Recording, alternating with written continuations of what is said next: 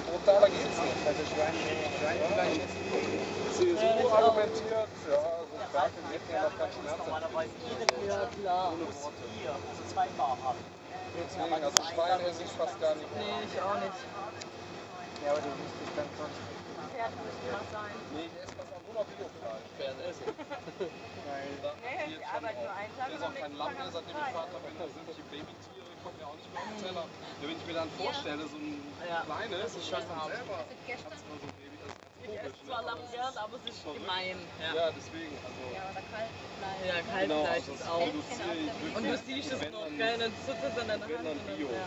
Gestern gab es auch ein Buffet Baby Chicken. das schmeckt genauso wie normales Eintagsküche.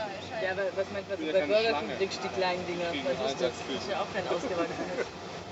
Ja, das ist normal, das ist echt vegetarisch. Ja, aber wie gesagt, in, in Maßen. Wir müssen eigentlich da wieder hinkommen, wo, wo wir früher mal waren, zum. Sonntagsbraten. So, ja. Woche und Ja. dafür ein qualitatives Biofleisch. Ja, weniger. Ja? Weniger auf jeden Fall. diese Dumpingpreise Nicht bei Lidl und so weiter, bei den ganzen Discountern, wo irgendwie ein Kilo Fleisch 7 Euro kostet, das müsste verbieten. Ein Europäer isst oder verbraucht fünfmal mehr, weil Wasser ist es halt. Tiere schmeißen. Ja. Sieben oder zehn oder was Kilo Getreide. Plus Wasser. Pro Kilo Fleisch brauchst du 1000 Liter Wasser. Plus mit Eine andere Fassade von Kutubia Minarett sieht man auf der linken Seite. Nicht nur das Minarett, sondern könnte man von hier schon die zwei Moscheen, die vollendete Moschee, die heute, also die Hauptmoschee von Marrakesch und nebenbei sieht man einfach Säulen.